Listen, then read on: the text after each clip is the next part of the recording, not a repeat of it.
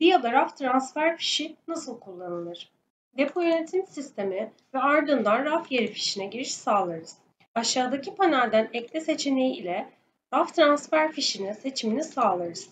Fiş numarası, tarih ve saat bilgilerinin seçimini sağladıktan sonra açıklama bilgisini gireriz. Ve ardından işlemi yapacağımız depo bilgisinin seçimini sağladıktan sonra başlat butonuna tıklarız. Kalemler alanında ilgili stoğumuzun takibini barkod, seri veya log numarasından hangisiyle gerçekleştiriyor isek seçimini sağladıktan sonra numarasını okuturuz. İlgili stoğun stok ismi ekrana gelecektir. İlgili stoğun mevcutta hangi rafta bulunduğunu öğrenmek için mevcut raf yerlerinin butonuna tıklarız. Ardından seçimimizi sağladıktan sonra stoğumuzun mevcut raf yerindeki miktar bilgisi otomatik olarak gelecektir.